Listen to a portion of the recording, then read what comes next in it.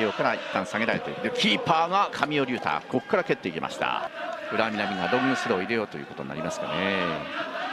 草野から入っていきました。草野もこれそうなんですよね。ロングスローできる選手なんですね。そうですね。はい。ええ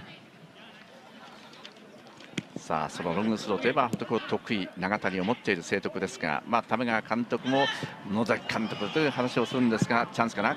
一本クロスが入っておおっとこれさあチャンスなんかここはどうだ？岡田いった。岡田。岡田達が行きました。8番の岡田からここはしっかりブロック入ります。2番の長谷が行きました。お高さですよね。そうですね、え185は魅力ですからね。え本当ですよね、はい。成沢のご両親も今日は来てるそうですからね、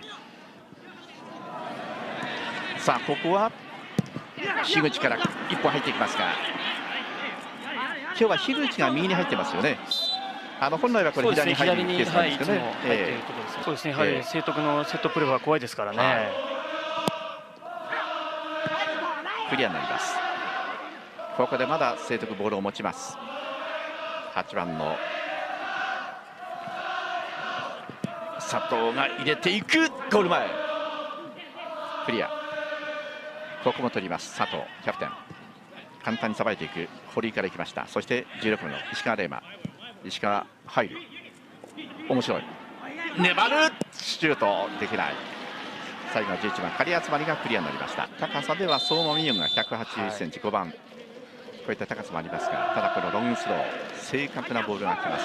そして頭でセットは成沢圭吾ここは負けない。もう一回成沢にボールが来ました。成沢入れたさあチャンスが打てるかシュートは打たないかガーッとクリアクリアクリア粘ります最後は20番庄司千秋が行きました長いのも投げられます逆サイド岡田が行っています草野も中に入っていますがおっとキーパーこぼしているがと取り付きました神尾龍太神尾は塚本さん172センチなんですよね、はい特に大きな選手ではないんですが、そうですね、えー非常に安定してますよね、はい、えー長いボール。そして落としていきますが中道がいます。佐藤が来ました。ここもしっかりマークにいっている。中道。ここからどうするか。とパスが1本通りません。7番の金俣から出たボールだったんですがそして今笛が鳴っています。前半を終了しました。準決勝の第2試合はこれから後半に入っていきます。浦和南高校のキックオフで後半の40分が始まりました、え2番をつけますがさあどこへ持っていくのか。今7番の千曲も動いた。でこのニアサイドキーパーパンチングショート小木まだあります。クロスが1本入った。いいボールがいった。シュート !3 番の堀井幸四郎完璧に捉えたんですがキーパー小野の正面でした。キーパー山田堀井成沢長谷のフォーバック。これ本当にいい形でねジャストミートしてますけどね。そうですね。フリーでしたけどね、はいもともとは女子高校だったんですが96年から男女共学で中高一貫の教育を行っている聖徳深谷高校です。まあ本当にこう新興勢力といいましょうか。そういった形になりますがさあここはボールが1本出ました。チャンスの中から戸沢行った戸沢行った。戸沢から戸沢千曲逆サイド行きますがここもブロックを張る。今の攻防いかがですか？してリードして、まあ終わりかなというところで100分という最後の最後に1点を失ってはい。PK まで行きました、ただその後にチースーラー戦はこれこそ延長かなというところで逆にね80分に点を取ったわけですね、おーっとシュート！というこういうのが入ればなという佐藤なんですが、まあ、この状態でいいという判断もあると思うんですけど、ええ。はい。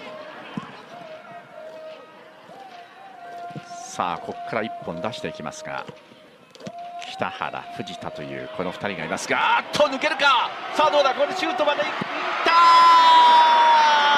入れたか？北原。決定的な場面でした。北原湊。いやー為ヶ谷監督も来たかなという感じあったと思うんですが。ですね、今14番の新井君からスピードある突破で、はいあれやっぱり北原としてはどうでしょう？対戦難しかったですかそうですねね、ボールが先の、まあ左足、はい。インにかけたんですが、はい。かといってトラップできないですよね、あそこはね、あそこはシュートしかないですね。そうですよね、はい。なんかそのやっぱり監督さんのポジションっていうのがその後の指導のスタイルにもやっぱり影響しますよね。えーなるほどねはい。まあ、それが今、門俣が受け継ぐような感じになってますけどね、はい。あったここはボールをカットしました、8番の佐藤壮太、キャプテンです。ここからどういう展開を見せるか。狭いところなんですがそしてボールは出ておっと。あそこはだからおそらく難攻としては今ちょっとこうフラッグがね倒れてしまったんですが、はい、まあしょうがないですね。あれ、まあそうですね、はい、やっぱりロングスローよりはまだコーナーの方がいいかなという気持ちあったはずですが一方はしっかり守りたいという浦和南高校。そして今コーナーフラッグが引きます。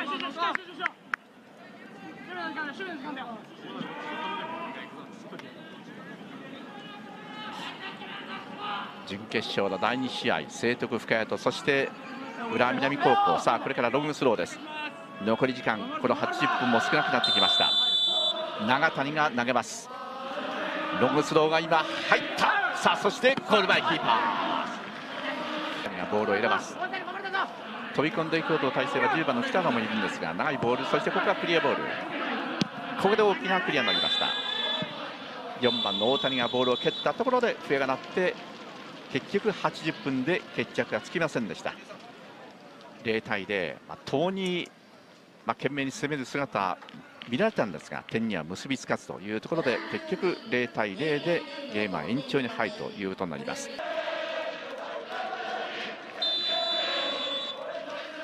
準決勝第2試合は延長に入ります。待っていきますが。そうですね、やはりまあなかなか流れの中で得点というのは難しいかなと思うんで、はい、やはりロングスローとかセットプレー、コーナーキックとですね、うん、どっちが有利に取るかというところだと思います、ね、こぼれた、さあチャンスがシュートは打てないか、キーパー出てきた、まだまだある、新井がいく、新井がいく、新井がいく、新井が持ってきた、ピンと抑えました。5番の相馬、足を出しました。よく止めましたね。いやよく止めましたね。はい、いやすごいスピード、そしてこの攻めだったんですが。相馬美音が止めています。いやしかし聖徳としても決定的な場面作ったんですけどね、ね。はい、もうでもあの新井君の前に赤い壁が3枚くらいいましたね。本当です。さあ延長後半に入りました。っていうのも頭にあるそこですね。はい、要するにこう PK にもし行ってしまったらということですね、はい、なるほど、はいさあここはチャンスになるか変わった真中入っていく入っていく。あっちょっとっと。っと危なかった。そうですね。このピンチを防いでいけるわけですね。そうですね。なかなか前に裏見いけないですよね。さあそして今度は大谷が来ました。4番の大谷からいい形で走っていった。さあどうだ？狙うシュート。均衡に敗れました。草野浦和南高校が1点の先行この延長の後半に来て1点を取りました。草野光のゴールです。いい飛び出しを見せました。これもなんか野崎先生の采配ですかね。やはりいつもサイドバックのところ1個前のハーフに中盤に置いたところでこういう選手が点を取るという、はいいやだから前回の試合はその草野が左サイドバックでその前に大谷がいたんですよね、はい、そうですね、えー、はい、だからその辺の気心は当然知り合った2人だと思うんですが、はいはい、その4番の大谷から草野が飛び出して1点を取りましたまだそういった意味では時間があります、そうですねまだチャンスありますね、藤田がボールを蹴る。ゴール前が入る。飛ぶ。シュートはあっと笛が鳴りました。ゴールが入る前に笛が鳴ってファウルになりました思わず聖徳深谷のスタンドからは大きな声援が沸き起こったんですがゴールのボールにボールがゴールに吸い込まれる前に笛が鳴ってファールがありました。長谷のロングスロー。そしてボールが入る。ここがクリアおっと前にこれた。打てない。まだある。まだある。そしてもう一回長谷。ボールを入れる。ここがキーパー飛ぶ。キーパー取りました。キーパーショーノが取っています。今手元の時計では2分を過ぎました。もう時間はありませんがさあこれがラストチャンスなのかも分かりません。長谷スローイン。ロングスローボールが入る。さあそしてこれを止めないか。キーパー取ったショーノ取った。キーパーショーノが取りました。もう時間はありません。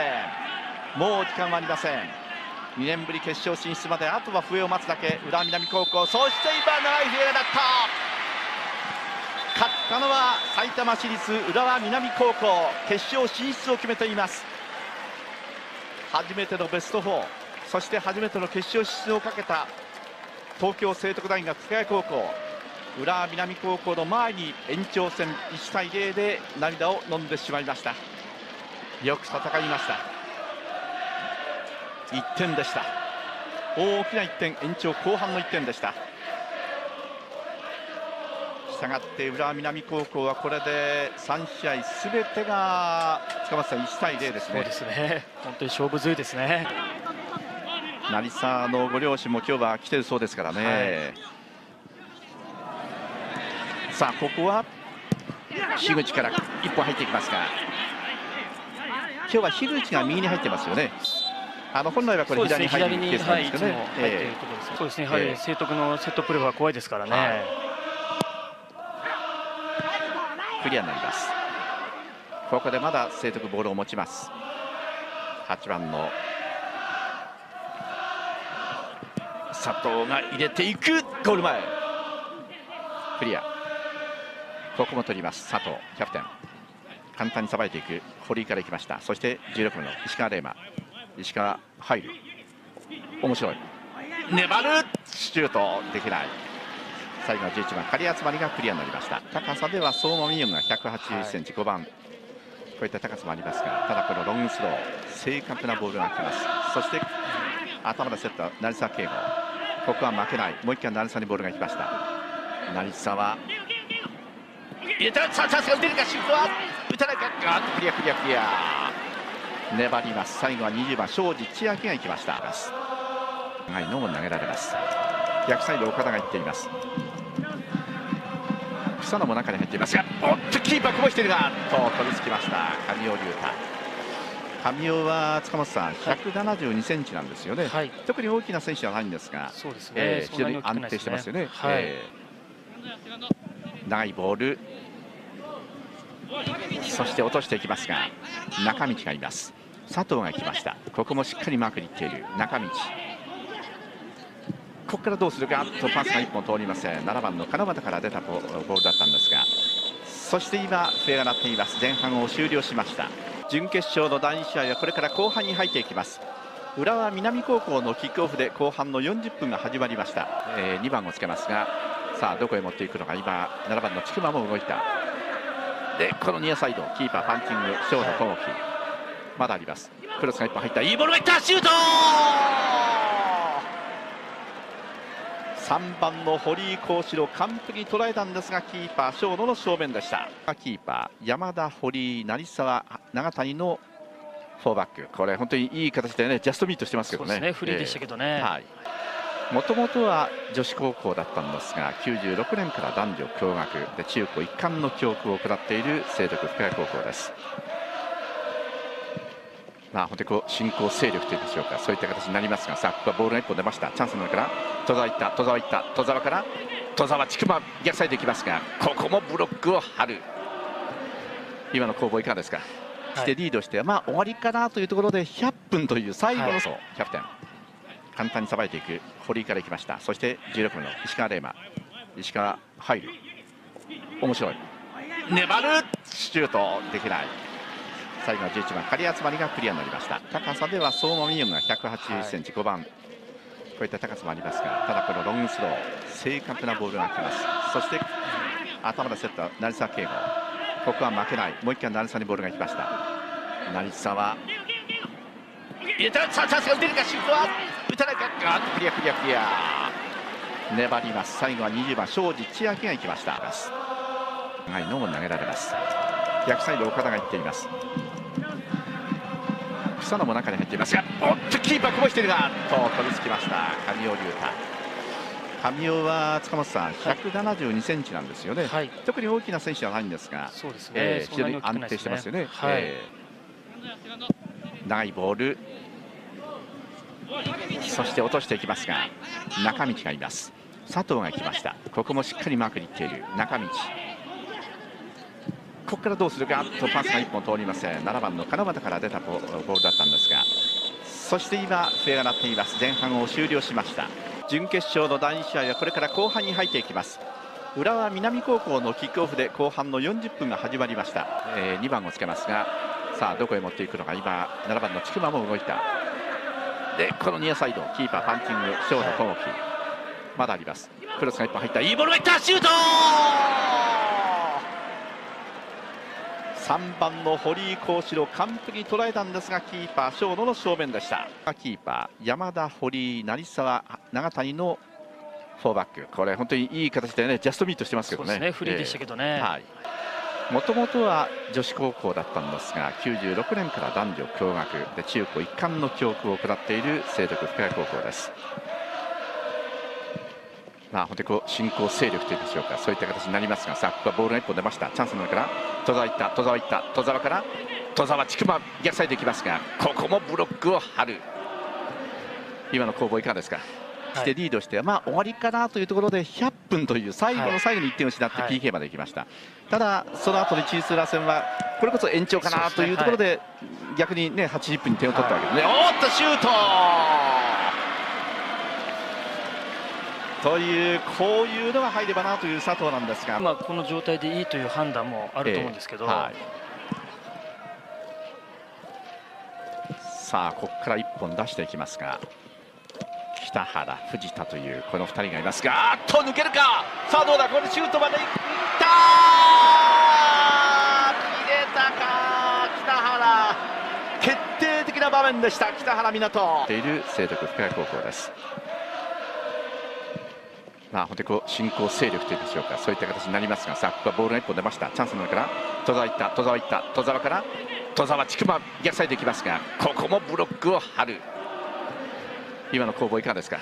してリードして、まあ終わりかなというところで100分という最後の最後に1点を失って PK まで行きました、ただ、その後にチースラ戦はこれこそ延長かなというところで逆にね80分に点を取ったわけですね、おっとシュート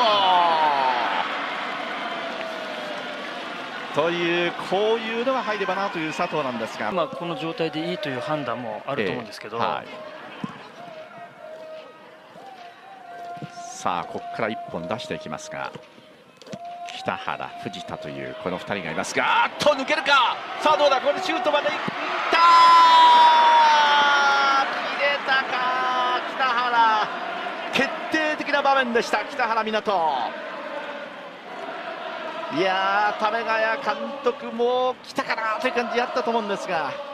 ですね今14番の新井君からスピードある突破で、はい、はい、あれやっぱり北原としてはどうでしょう対戦難しかったですかね。ねボールが先の、まあ、左足、はい、インにかけたんですが、はい、かといってトラップできないですよねあそこはね。あそこはシュートしかないですね。そうですよね、なんかそのやっぱり監督さんのポジションっていうのがその後の指導のスタイルにもやっぱり影響しますよね。えー、はいまあ、それが今、門俣が受け継ぐような感じになってますけどね。はい。はいあったここはボールをカットしました。8番の佐藤壮太キャプテンです。ここからどういう展開を見せるか。狭いところなんですがそしてボールは出ておっと。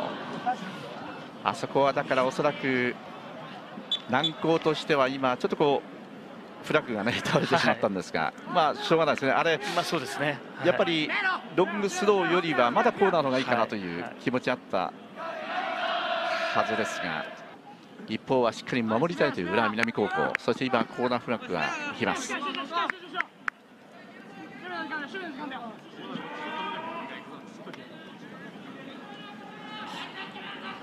準決勝の第2試合、聖徳深谷とそして浦和南高校。さあこれからロングスローです。残り時間この80分も少なくなってきました。長谷が投げます。ロングスローが今入った。さあそしてゴール前キーパー。がボールを入れます。飛び込んでいこうと体勢は10番の北野もいるんですが長いボールそしてここはクリアボール。ここで大きなクリアになりました。4番の大谷がボールを蹴ったところで笛が鳴って結局80分で決着がつきませんでした。0対0、まあ、投入